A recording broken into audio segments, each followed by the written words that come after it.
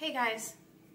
So, somebody messaged me the other day and asked me how I iron my felt. Normally, I don't if I don't have to. I try to stay away from it as much as I can, but in this case, I did want to give you an example. I do have the back here, and you can see it has kind of a heavy line in there.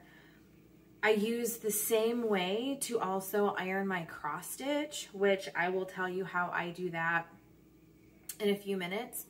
But with this, what I do is I lay down a towel and I put a dish towel over it.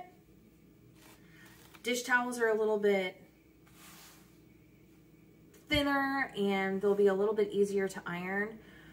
Do not use steam. If you do not pre-wash your Bucilla sheets of felt, which sometimes it says in the directions to do, I don't.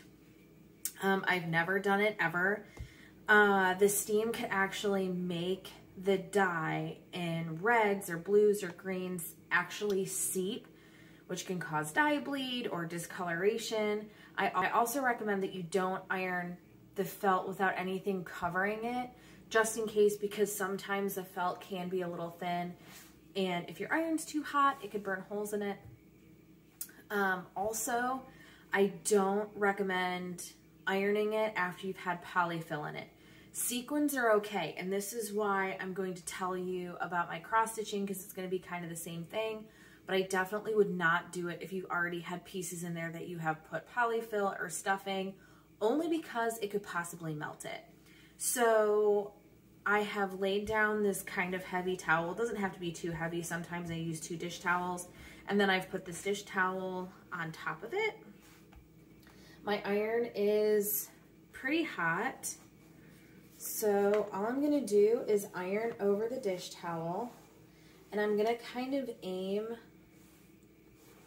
on those spots that had the really heavy crease in there.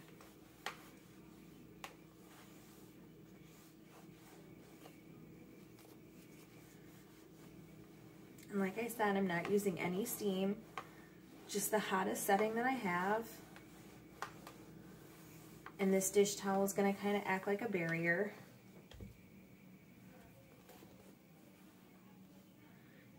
And it's going to take all of those lines out. I have a little bit one of down here, so I'm just going to keep going. You can hold it there for a minute. Like I said, this is your protective layer.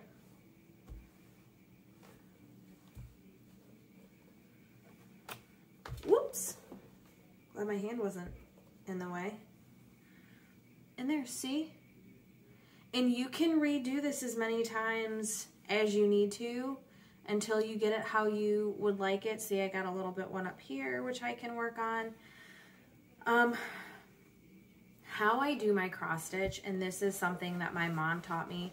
She does amazing cross stitch, and my dad would always make the frames.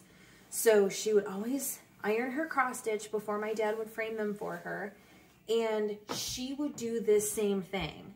But she would do it after she'd already done the cross stitched. But her trick was, let's say you're cross stitching this way and the stitches are on top.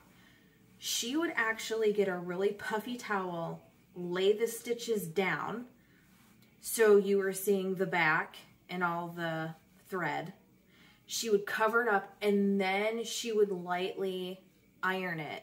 And what that would do is the stitches would actually kind of lay on the puffy towel and it wouldn't flatten them. It would keep them puffy as she flattened the back and flattened um, the Aida cross stitch fabric in order to make it look really nice and get any, you know, hoop rings or anything else out like that. I also do it with mine if I've put pieces in and I've sequined them and I'm like, oh man, I really wish I would have like gotten this little piece because sometimes you'll get little tiny round pieces that might have a fold in the end and they're curled and then they don't look right and you want them to lay flat and nicer.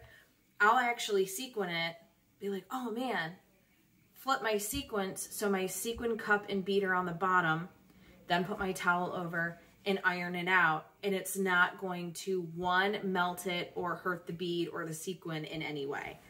So that is how I pretty up all my pieces and my cross stitch